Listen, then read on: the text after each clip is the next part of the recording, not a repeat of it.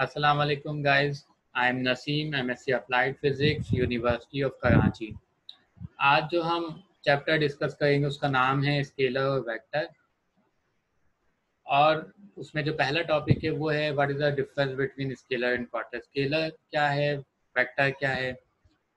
Scalar quantities क्या हैं? Vector quantities क्या हैं? उसको हम डिस्कस करेंगे। तो सबसे पहले हम डिस्कस करेंगे कि स्केलर क्या है? व्हाट इज़ स्केलर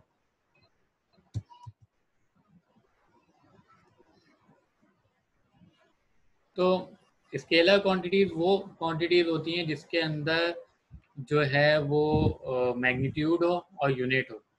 और किसी किस्म की कोई डायरेक्शन ना हो तो वो स्केलर क्वांटिटीज कहलाती हैं। जैसे कि मास है। मास जो है एग्ज़ाम्पल है स्केलर क्वांटिटी की।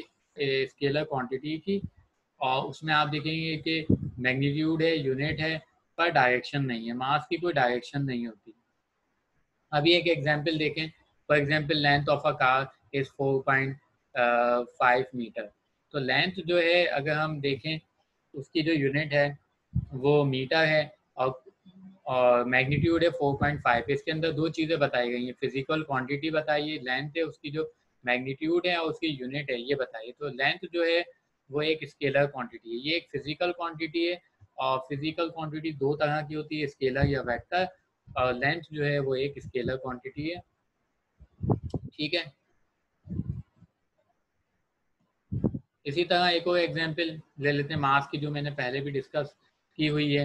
आ, ये भी एक फ़िज़िकल क्वांटिटी है मास और mass of gold bar is one K G one जो है मैग्नीट्यूड है और के जी जो है वो इसकी यूनिट है। तो ये भी एक स्केलर क्वांटिटी है। बिल्कुल इसी तरीके से टाइम भी स्केलर क्वांटिटी की एक एग्जांपल है। जैसे कि आपको नज़र आ रहा है कि इसमें जो मैग्नीट्यूड है 12.76 है और जो यूनिट है वो सेकंड है।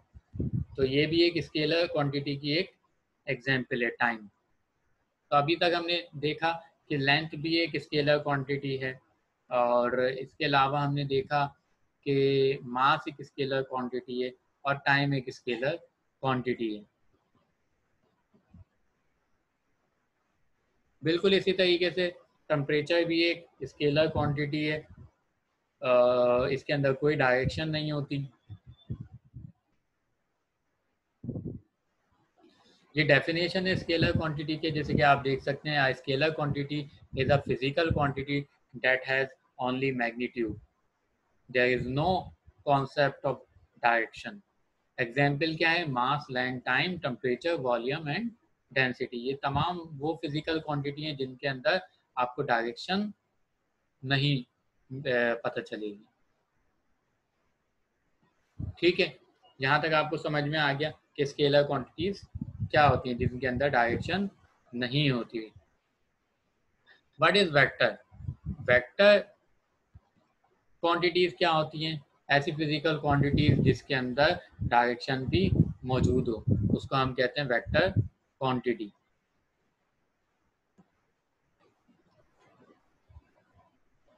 अच्छा यहाँ पे आपको नज़र आ रहा होगा जो लिखा हुआ है, जैसे कि ये एक मैप है। इसके अंदर आपको नज़र आ रहा है कैलिफ़ोर्निया कहाँ पर है मैप में? नॉर्थ कैलिफ़ोर्निया कहाँ पर है मैप में? और यहाँ लिखा हुआ है the position of California from north sorry मैंने गलत पढ़ा था कैलिफ़ोर्निया कैरोलिना ठीक है position of California from the North Carolina is 3600 kilometre in the west यहाँ पे आपको डायरेक्शन का भी पता चल रहा है कि इनमें जो आपस में जो फासला है, वो है 3600 किलोमीटर का है। लेकिन किस डायरेक्शन में है? इन द वेस्ट तो हमें डायरेक्शन का भी पता है। इस एग्ज़ाम्पल में हमें डायरेक्शन भी पता चल रही है। तो फ़िज़िकल क्वांटिटी क्या बनी? पोजीशन तो पोजीशन जो है वो एक, जो है फिजिक सॉरी एक वेक्टर क्वांटिटी है। अच्छा। फिजिक्स में हम पढ़ते हैं डिस्टेंस और डिस्प्लेसमेंट। अभी जो हमने पिछली एग्जांपल लेगी एक्चुअली वो बिल्कुल डिस्प्लेसमेंट ही की तरह थी। तो डिस्प्लेसमेंट जो है ए, एक ऐसी फ़िज़िकल क्वांटिटी इसकी डेफिनेशन ये है कि जो distance covered in the straight line is called displacement अगर स्ट्रेट लाइन में आप डिस्टेंस कवर करते हैं तो उसको डिस्प्लेसमेंट कहते हैं। या फिर shortest path covered by a body is called displacement तो डिस्प्लेसमेंट क्या होता है? जो शॉर्टेस्ट पाथ होता है उसको डिस्प्लेसमेंट कहते हैं तो शॉर्टेस्ट पाथ या स्ट्रेट लाइन में जो आप फासला कवर करते हो, उसमें डायरेक्शन लाजमी होती है। तो आप बता दो कि नॉर्थ की जानब ईस्ट की जानब वेस्ट की जानब, ठीक है? तो डायरेक्शन का आंसर जो है, उसके अंदर शामिल होता है। तो डिस्प्लेसमेंट जो है, एक ऐसी फ़िज़िकल क्वांटिटी है, जो कि वेक्टर क्वांटिटी है। अब देखो, इसके अंदर यूएसए और चाइना इनके दरमियान में जो शॉर्टेस्ट पाथ है, वो बना के दिखाया हुआ इस मैप में। तो ये एक डिस्प्लेसमेंट है। तो उसकी डायरेक्शन भी हमें पता चल रही है। Displacement from the USA to China is 11,600 kilometre in the east तो यहाँ पे आपको डायरेक्शन भी बताई जा रही है कि यूएसए से चाइना तक जाने में जो फासला है शॉर्टेज जो डिस्टेंस है वो कितना है और उसकी डायरेक्शन भी बता रहे हैं कि ईस्ट की डायरेक्शन में ये मौजूद है। यूएसए के मुकाबले में चाइना जो है ईस्ट में मौजूद है। तो यहाँ पे मैग्नीट्यूड है डायरेक्शन है और यूनिट है तो ये एक वेक्टर क्वांटिटी हुई। वेक्टर की डेफिनेशन क्या है? Vector is a physical quantity that that has both a magnitude and the direction तो इसमें मैग्नीट्यूड भी होती है और डायरेक्शन भी होती है। और स्केलर क्वांटिटी में हम देखते हैं मैग्नीट्यूड तो होती है, लेकिन डायरेक्शन नहीं होती। इसकी एग्जांपल क्या है? Position displacement velocity acceleration momentum force मैं एक्सप्लेन कर देता हूँ। जैसे कि वेलोसिटी है। अब अगर हम बात करें वेलोसिटी की, इसके बिल्कुल अपोजिट होती है, इसके बिल्कुल साथ हम पढ़ते हैं स्पीड को भी। स्पीड जो है वो एक स्केलर क्वांटिटी है, उसकी वजह ये है कि स्पीड जो है वो उसके अंदर डायरेक्शन का आंसर शामिल नहीं होता डायरेक्शन का एलिमेंट उसमें नहीं होता। स्पीड की डेफिनेशन क्या है कि change in position with respect to time in और इन पर्टिकुलर टाइम उसको हम स्पीड कहते हैं, लेकिन वेलोसिटी की डेफिनेशन क्या होती है? स्पीड इन पर्टिकुलर डायरेक्शन या change in position in particular direction with respect to time is called velocity तो आप जब स्ट्रेट लाइन में पोजीशन को चेंज करते हैं, ठीक है टाइम के लिहाज से तो वेलोसिटी कहलाता है इसके अंदर डायरेक्शन लाजमी होती है। तो अगर कोई गाड़ी स्ट्रेट लाइन में सफ़र कर रही है एक पर्टिकुलर टाइम में तो वो, हम उसकी वेलोसिटी मेजर कर रहे होते हैं। लेकिन अगर हम स्पीड की बात करें तो स्पीड जो है स्ट्रेट लाइन में मेजर की नहीं जाती। ये मिसाल के तौर पर आपकी गाड़ी स्टार्ट हुई छः बजे और साढ़े छः बजे तक वो चलती गई तो उसने अपनी डायरेक्शन को मुसलसल कई मरतबा चेंज किया होगा। तो टोटल जो चेंज इन पोजिशन होती है विद रिस्पेक्ट टू टाइम उसको हम स्पीड का नाम दे गए होते हैं। हो सकता है कि आपको स्पीड और वेलोसिटी का फ़र्क इतना अच्छे से समझ में ना आए। लेकिन जो है, इन दोनों में जो बुनियादी फ़र्क होता है, वो होता है डायरेक्शन का। एक्सेलरेशन एक्सेलरेशन भी जो है एक वेक्टर क्वांटिटी है। एक्सेलरेशन क्या होता है? कि change in velocity with respect to time is called acceleration और एक्सेलरेशन की डायरेक्शन वही होती है जो वेलोसिटी की डायरेक्शन होती है। इसी तरीके से मोमेंटम भी एक वेक्टर क्वांटिटी है। मोमेंटम का फॉर्मूला क्या होता है? इसको रिप्रेजेंट किया जाता है पी से। मोमेंटम बराबर होता है m multiply by v m v p is equal to m v ठीक है? इसी तरीके से फोर्स भी एक वेक्टर क्वांटिटी है, आप जब किसी बॉडी पर फोर्स लगा रहे हो तो आपको पता होता है कि किस डायरेक्शन में आप फोर्स लगा रहे हो। ये कॉमन सी बात है। ठीक है तो मैं इसको समराइज कर देता हूँ। अगर मैं मिसाल दूँ स्केलर क्वांटिटी की तो स्केलर क्वांटिटी में की जो एग्जांपल है, वो है डिस्टेंस और वेक्टर में अगर मैं बात करूँ तो डिस्प्लेसमेंट इसी तरीके से स्केलर में मास जो है वो इसकी एग्ज़ाम्पल है। और वेक्टर में वेट जो है इसकी एग्ज़ाम्पल है। मास जो है उसकी कोई डायरेक्शन नहीं होती, लेकिन अगर मैं बात करूँ वेट की तो उसकी जो डायरेक्शन होती है वो टूवर्ड द अर्थ होती है, ज़मीन की तरफ़ होती है। तो वेट एक फोर्स है, ठीक है? वेट जो है, उसकी यूनिट जो है वो न्यूटन होती है, वो एक फोर्स है जिसकी डायरेक्शन ज़मीन की तरफ़ होती है।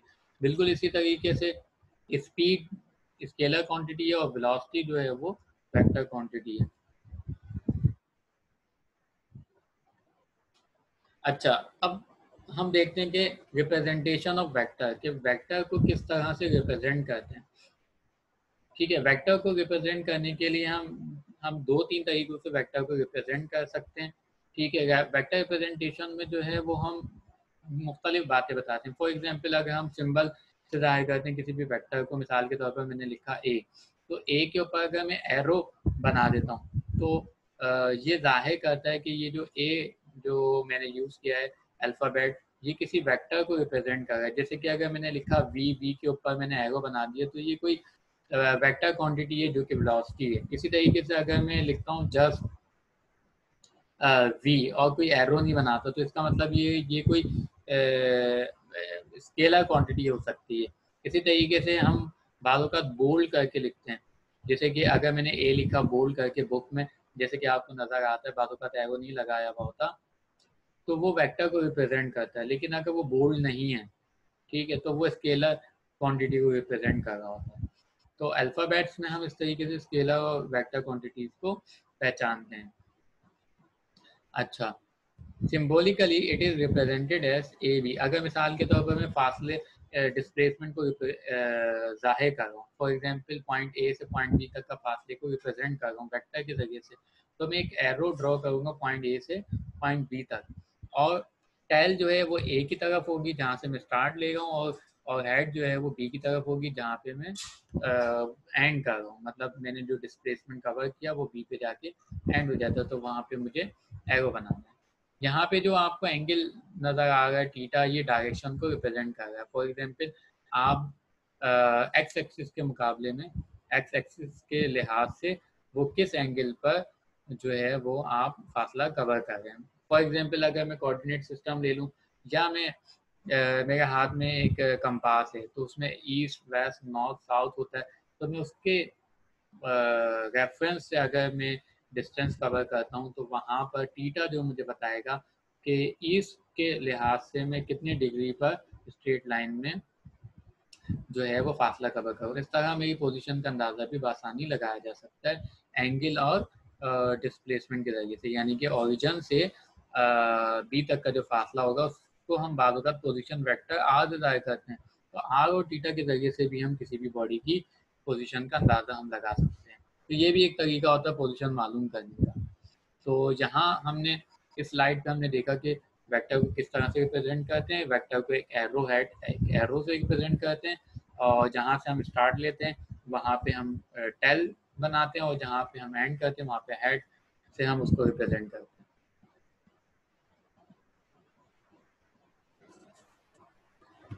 They are also represented by single capital letter and arrow above it. ये मैं एक्सप्लेन कर चुका हूँ पिछली स्लाइड में साथ ही मैंने इसको भी रिप्रेजेंट कर दिया अब एरो से रिप्रेजेंट करते हैं किसी भी लेटर के ऊपर बनाकर ठीक है यहाँ पे मुख्तलिफ़ डायरेक्शन के वेक्टर्स आपको नज़र आ रहे Some vector quantities are represented by their respective symbols with an arrow above it.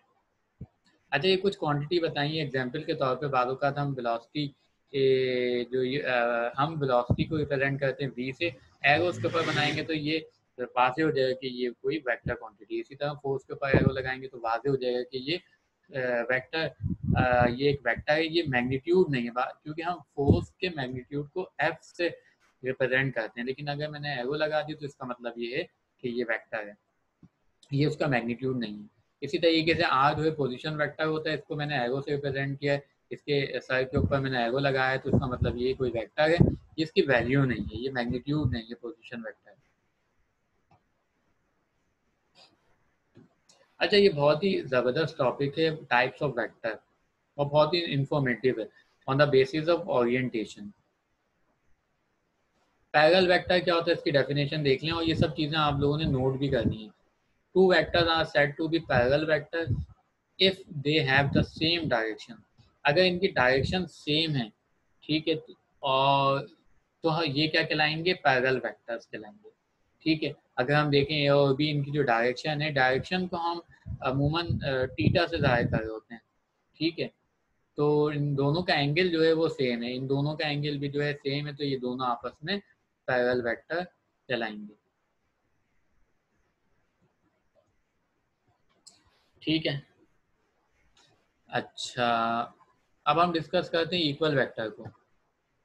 Equal vector क्या होता है? Two parallel vectors are said to be equal vectors if they have same magnitude equal vector क्या होते हैं? जिनका magnitude जो है वो सेम होता है, वो इक्वल वेक्टर कहलाते हैं। ठीक है? जैसे ए और बी इन दोनों की वैल्यू फॉर एग्जांपल ए की वैल्यू है फाइव और बी की वैल्यू भी है फाइव तो दोनों इक्वल वेक्टर्स कहलाएँगे। ठीक है, इसी तरीके से पी और क्यू की वैल्यू जो है वो बराबर होगी। अब अगर मैं दोबारा से पीछे आता हूँ ए की वैल्यू फाइव है बी की वैल्यू फाइव है। सॉरी ए की वैल्यू फाइव है बी की वैल्यू टेन है, लेकिन दोनों की डायरेक्शन सेम ठीक है तो ये पैरल वेक्टर कहलाएँगे, लेकिन इक्वल वेक्टर नहीं कहलाएँगे। बिल्कुल इसी तरीके से यहाँ पर इन दोनों की वैल्यू सेम होनी चाहिए, तभी ये इक्वल वेक्टर कहलाएँगे। अच्छा anti parallel vector opposite vector भी कहते हैं इसको two vectors are said to be anti parallel vectors if they are in opposite direction तो ये एंटी पैरल वेक्टर कहलाएँगे। ये एक दूसरे के नेगेटिव वेक्टर भी ए, कहलाते हैं। जैसे कि ए अगर एक वेक्टर है और, और सेम यही वेक्टर अगर उसकी डायरेक्शन को चेंज कर दिया जाए तो माइनस ए कहलाता है। लेकिन फ़िलहाल हम उसको डिस्कस नहीं कर रहे हम एंटी पैरल वेक्टर्स को डिस्कस कर रहे हैं। बी एक अनदर वेक्टर है। ठीक है? ये ए वेक्टर नहीं है, ये अनदर दूसरा कोई वेक्टर है, लेकिन इसकी डायरेक्शन बिल्कुल अपोजिट है। ठीक है? यानी कि 180 डिग्री आउट ऑफ़ 180 डिग्री का जो इनके दरमियान में एंगल का फ़र्क है। अब आ जाते हैं नेगेटिव वेक्टर जो मैंने पीछे डिस्कस करना चाह रहा था, लेकिन वो यहाँ पर हम डिस्कस करेंगे। यहाँ तक आपको उम्मीद है सब कुछ समझ में आ रहा होगा। Vector two anti parallel vector are said to be negative vectors if they have same magnitude ठीक है? अब जैसे कि मैंने कहा, अगर ए को ही मैं अपोजिट कर दूँ नेगेटिव ए कर दूँ तो यहाँ पे बिल्कुल वैसे ही बात हो गई है। अगर दो वेक्टर हैं, दोनों के मैग्नीट्यूड सेम है, लेकिन डायरेक्शन अपोजिट है तो हम कहेंगे ये दोनों एक दूसरे के नेगेटिव वेक्टर है। यानी कि उनके मैग्नीट्यूड सेम होने चाहिए। और उनकी डायरेक्शन अपोजिट होनी चाहिए तो हम कहेंगे ये नेगेटिव वेक्टर है। अदरवाइज़ ये नेगेटिव वेक्टर नहीं होगा। पी ओ क्यू एक दूसरे के नेगेटिव वेक्टर कहलाएँगे। ठीक है? अच्छा नेगेटिव वेक्टर एक दूसरे को कैंसिल आउट भी कर सकते हैं। जैसे कि अगर ये दो फोर्सेस होती हैं तो एक दूसरे को कैंसिल आउट कर देती अच्छा कोलिनियर वेक्टर ये रियरली हम डिस्कस करते हैं कोलिनियर वेक्टर लेकिन अच्छा है आपकी नॉलेज में भी इजाफा हो जाएगा। देख लीजिए इसको भी। Two vectors are said to be collinear vectors if they act along a same line. तो कोलिनियर का मतलब ये होता है अच्छा कोलिनियर हम मैथ में ही पढ़ते हैं, आप मैथ में भी पढ़ेंगे ये कोलिनियर यानी कि हम पॉइंट्स के बारे में जब हम पढ़ते हैं, दो पॉइंट हैं, वो एक ही लाइन पे मौजूद हैं तो हम कहते हैं कि these two points are collinear यानी कि एक ही लाइन पे मौजूद है। इसी तरीके से कोलिनियरिटी का मतलब यही होता है कि एक ही एक्सेस पर, एक ही लाइन पर दो चीज़ों का मौजूद होना। तो मैं दोबारा डेफिनेशन पढ़ देता हूँ। Two vectors are said to be collinear vectors if they act along the same line दो वेक्टर्स हैं, ठीक है, दो वेक्टर्स हैं, दोनों एक ही लाइन पर मौजूद हैं तो ये कहलाएँगे कोलिनियर वेक्टर डायरेक्शन भले अपोजिट हो, या एक ही जैसी डायरेक्शन हो, उससे कोई फ़र्क नहीं पड़ता, पर ये दोनों क्या हैं? एक ही लाइन पर मौजूद हैं तो कोलिनियर वेक्टर कहलाएँगे। मैग्नीट्यूड से भी कोई फ़र्क नहीं पड़ता और डायरेक्शन से भी कोई फ़र्क नहीं पड़ता। ठीक है। आज आप लोग वेक्टर के बारे में बहुत कुछ जान जाएँगे। उम्मीद है। को इनिशियल वैक्टर्स। अच्छा को इनिशियल वैक्टर नाम से पता चल रहा है जिनकी जो जिनका स्टार्ट जो है वो एक ही पॉइंट से हो तो वो को initial vectors कहलाएँगे। Two or more vectors are said to be coinitial vectors if they have common initial point जैसे कि ए बी सी डी इन सब का जो इनिशियल पॉइंट है, जहाँ मैंने ये हाथ रखा हुआ है ये यहाँ से स्टार्ट होगा तो ये सब के सब क्या कहलाएँगे? को initial vector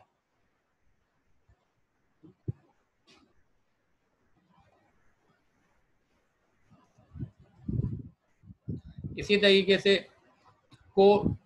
coterminous vector two or more vectors are said to be co-terminal vector if they have common terminal point. अगर तमाम वेक्टर्स एंड हो गए एक एक कॉमन पॉइंट पर तो हम कहेंगे कि ये सारे एक दूसरे के साथ ये सारे क्या हैं? को टर्मिनस वेक्टर कहलाएँगे। ठीक है? Two or more vector are said to be coterminous vectors if they have common terminal point तो ये सब आपस में क्या कहलाएँगे? को टर्मिनस वेक्टर्स अच्छा को प्लेनर देखो को से तो आपको पता चल गया, जैसे को एजुकेशन होती है, जिसके अंदर गर्ल्स एंड बॉयज़ साथ होते हैं, इसी तरह को प्लेनर का मतलब भी ये एक ही प्लेन पर अगर एक से ज़्यादा वेक्टर मौजूद होंगे तो वो को प्लेनर कहलाएँगे। को लीनियर यानी कि एक लाइन पर एक से ज़्यादा वेक्टर मौजूद होंगे तो को लीनियर कहलाएँगे तो आपको अब समझ में आना शुरू हो गया होगा कि हम बातों का टाइटल देखते ही अंदाज़ा लगा लेते हैं कि इसका मतलब क्या होगा, इसकी डेफिनेशन क्या होगी। Three or more vectors are said to be coplanar vectors if they are, if they lie in the same plane ठीक है, तीन या तीन से ज़्यादा वेक्टर्स अगर एक ही प्लेन पर मौजूद हैं तो वो क्या कहलाएँगे? कोप्लेनर वेक्टर ठीक है तो ये सारे वेक्टर एक, दूसरे के साथ क्या हैं? को ये एक दूसरे के लिए कोप्लेनर वेक्टर ये सारे कोप्लेनर हैं।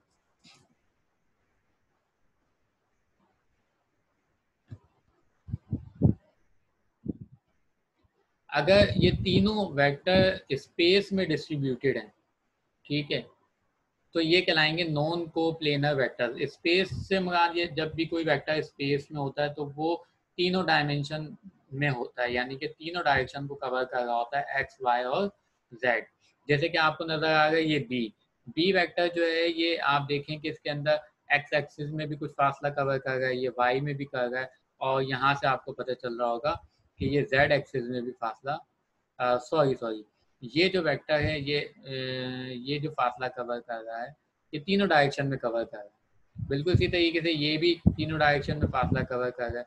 और ये भी तीनों डायरेक्शन में फासला कवर कर रहा है। तो ये को प्लेनर वेक्टर नहीं कहलाएँगे, क्योंकि एक सिंगल प्लेन पर ये लाई नहीं कर रहे तीनों। ठीक है? Three or more vector are said to be non coplanar vector if they are distributed in space space से मुराद, मैं दोबारा रिपीट कर रहा हूँ कि ये तीनों डायमेंशन में जो है आपको नज़र आएँगे, तीनों डायरेक्शन में ये फासला कवर कर रहे होंगे। ठीक है? मेरे ख्याल से इसको यहीं तक रखते हैं। बाकी जो नेक्स्ट टॉपिक है वो हम डिस्कस करेंगे नेक्स्ट टॉपिक में। अभी से आपको बता देता हूँ क्या हम पढ़ने वाले types of vector on the basis of effects ठीक है? वो भी हम देखेंगे। इस दफ़ा हम वेक्टर को बहुत ही अच्छे से कवर करने वाले हैं इन तो तब तक के लिए नेक्स्ट चैप्टर नेक्स्ट लेक्चर के लिए अल्लाह हाफिज़।